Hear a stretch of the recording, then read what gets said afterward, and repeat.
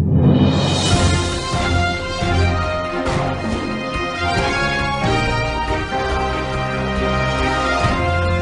अमित शाह की सभा को लेके एक लाख लोगों का समागम करेगी भाजपा सरकार। शनिवार को कोलकाता में भाजपा के राज्य सभापति दिलीप घोष ने इस बात की सूचना दी। उन्होंने बताया कि इससे आगे भी भाजपा की कई सभाएँ हुए हैं जहाँ पे 10 लाख लोग भी मौजूद रहे हैं। जबकि इस बार अमित शाह की सभा में कोलकाता और पास के जिलों से करीबन एक लाख लोग शामिल रहेंगे। उन्होंने इस बात पे ज़ोर देते हुए बताया कि शहीद मीनार रविवार को पूरी तरीके से भर्ती रहेगा।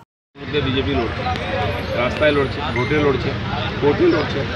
সেটাকে একটা জামা পরিয়ে আর নয়, অন্যায়, এরকম স্লোগান দিয়ে মানুষের সামনে আমরা যেতে চাই। আর এই যে অভিযান চলবে, এতে পশ্চিমবাংলায় গণতন্ত্র রক্ষা, দুর্নীতি দূর করে, হিংসা দূর করে নূতন প্রশাসন আনার জন্য মানুষের অধিকারকে প্রতিষ্ঠিত করার জন্য আমরা লড়াই করব।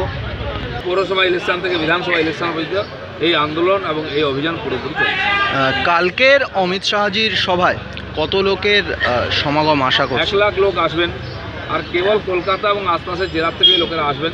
কারণ আমরা এর আগে লক্ষ লক্ষ লোকের সমাবেশ করেছি।